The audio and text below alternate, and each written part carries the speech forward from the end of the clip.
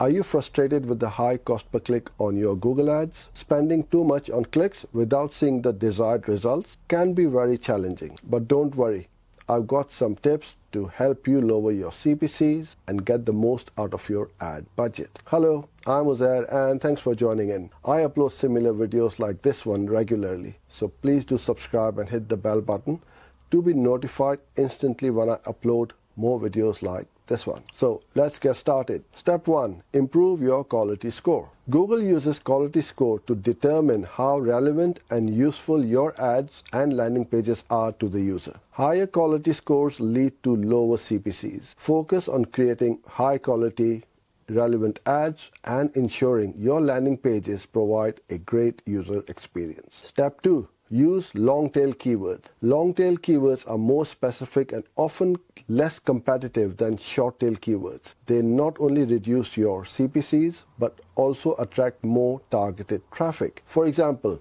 uh, instead of shoes, try affordable running shoes for women. Step 3 Focus on ad relevance. Make sure your ads closely match the keywords you're targeting and the user's search intent. The more relevant your ads are, the higher your quality score will be, leading to lower CPCs. Step 4.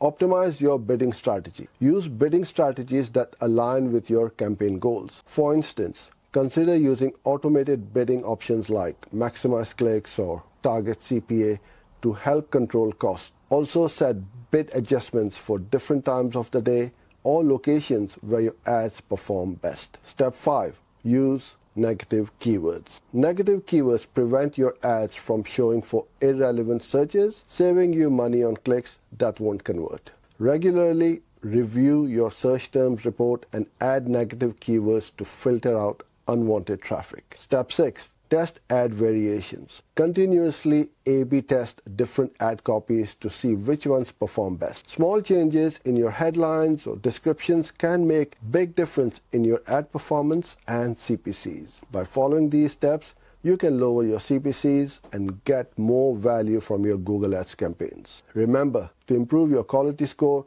use long tail keywords, focus on ad relevance, optimize your bidding strategy, use negative keywords, and test ad variations.